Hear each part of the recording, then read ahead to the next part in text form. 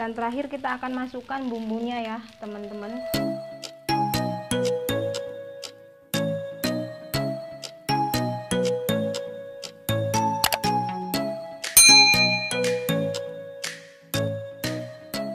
Halo semuanya, kembali lagi dengan WHS Channel ya. Salam sehat semuanya Teman-teman hari ini aku mau bikin menu sarapan Yaitu nasi goreng cikur atau nasi goreng kencur ya teman-teman. Cikur itu kalau di daerah Sunda artinya kencur.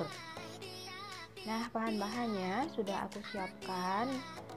Di sini aku pakai satu porsi nasi yang kemarin ya, teman-teman. Seperti ini.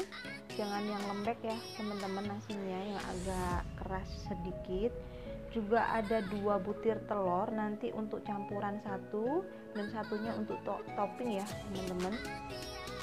Ada bahan bumbu halus ada cabai rawit merah ada bawang putih bawang merah juga ada cikur atau kencur ya teman-teman.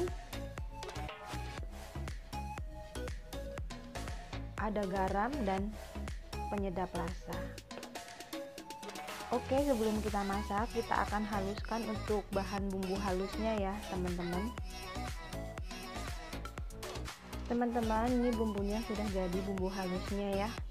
Seperti ini teman-teman. Cukup. Oke kita langsung aja masak ya teman-teman. Langsung aja kita masukkan bumbu halusnya ke minyak yang sudah panas teman-teman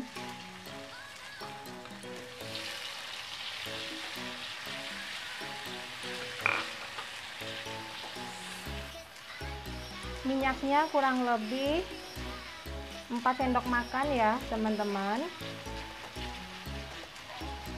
Jangan lupa dukung terus channel aku ya teman-teman.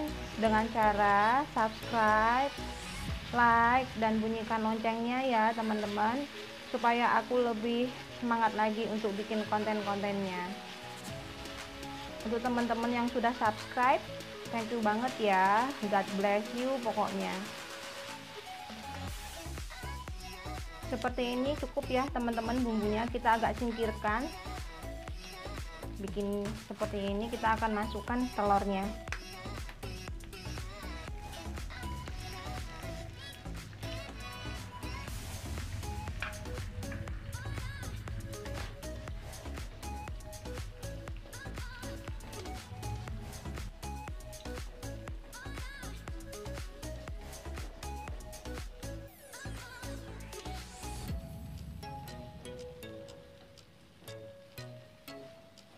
ini enak sekali teman-teman untuk sarapan di pagi hari.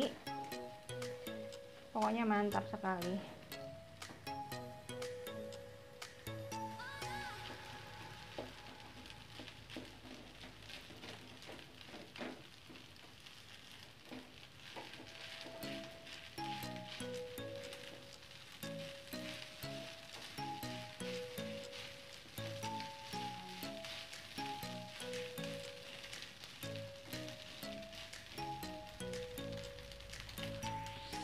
dan terakhir kita akan masukkan bumbunya ya teman-teman.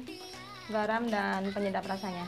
Jangan lupa untuk dicicip supaya rasanya pas dengan selera kita ya teman-teman.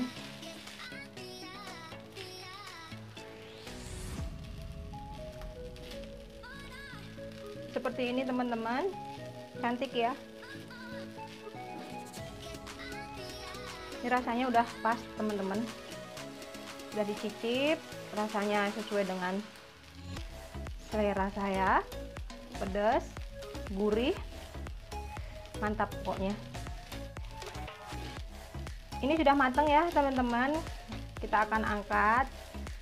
Terus selanjutnya mau bikin telur mata sapi dulu sebagai toppingnya. Kita matikan dulu. Oke teman-teman kita goreng ya telurnya.